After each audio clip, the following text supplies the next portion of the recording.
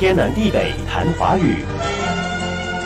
今天去哪儿啊？浙江，浙江，那个不是读作浙江吗？又是多音多义字啊？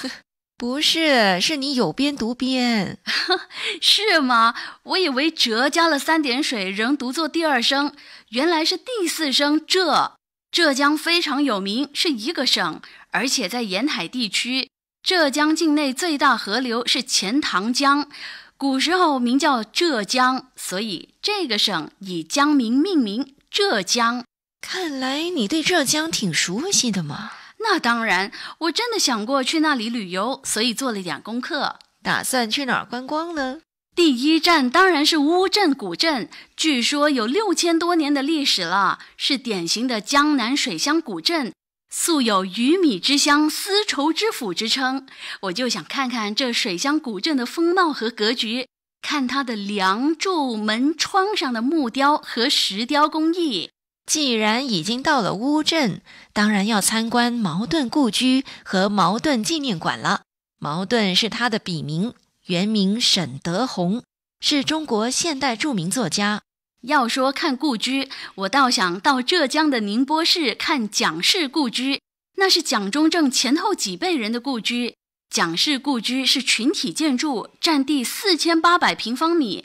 建筑面积共一千多，将近两千平方米，真够大的。蒋介石就出生在这里，看来浙江出了不少名人呢。对呀，武侠小说作家金庸也是在浙江出生的，后来才移居香港的嘛。我是看金庸的小说长大的，像《射雕英雄传》《神雕侠侣》《倚天屠龙记》《天龙八部》《笑傲江湖》，我都看过。你看的是连续剧吧？哎，看不起人呐！我也看书，爱阅读的。好，好，好，不相信我是吧？告诉你，鲁迅也在浙江出生，是浙江绍兴人。哎，说到绍兴，我也想到绍兴去走一趟，看当地的主妇是不是跟我一样，做饭都加绍兴花雕酒。游客怎么可能到民宅去看主妇做饭呢？到超市看就知道了嘛，是不是摆着很多这类烹调用的酒？去馆子吃饭也可以看人家的菜单，或是品尝出人家用没用这类酒，还挺有观察能力的。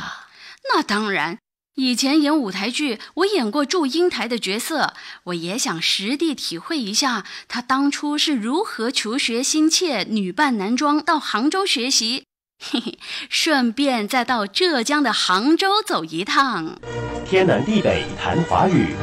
以上内容由李林撰稿，李林和谢佳丽播讲。节目重温可以浏览 i f m 官方脸书 facebook.com/slash/aifm.dot malaysia 或浏览 YouTube 频道，搜寻“天南地北谈华语”。是。